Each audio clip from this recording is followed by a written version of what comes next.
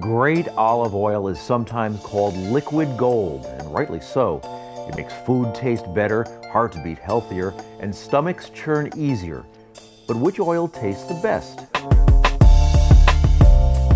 When you taste oil, you have to bring it to body temperature. To find out, we asked a pro. Just smell it. Doesn't have any defects. Actually, smells still very, very fruity. It's got to smell like fresh olives, not canned olives. Fresh olives. Fresh. Greenish. Yeah.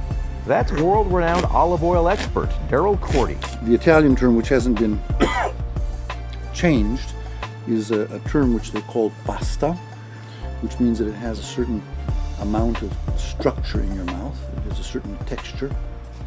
this one has has good a good pasta to it. It's still uh, slightly piquant. That's what makes you cough. Cough, yeah. So we we describe oils as having one, two, and three coughs. Mr. Corti is in the Aculeo Valley of central Chile, visiting the Soho olive plantation and mill. Juan Carlos Fabre is the owner. We just finished uh, planting about 50 new hectares in, in the south.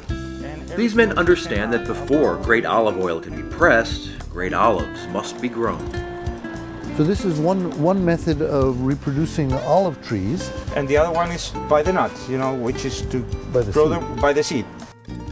Geographically, central Chile's climate and soil offer perfect conditions for growing olive trees.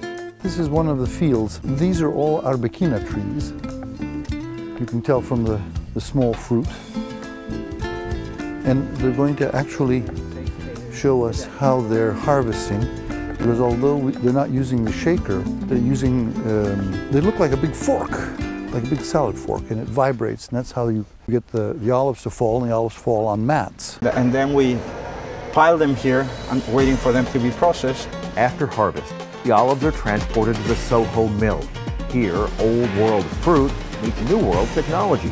The olives are cleaned and pressed then sent through an elaborate process of separating the oil from the solids, finally the oil from the water.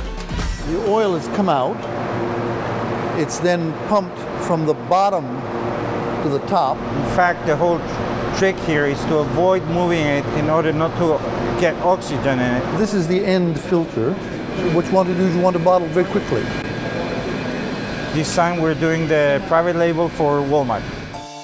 The world's eyes are focused on the high quality olive oil being produced in Chile as the Golden Valley churns out exquisite liquid gold.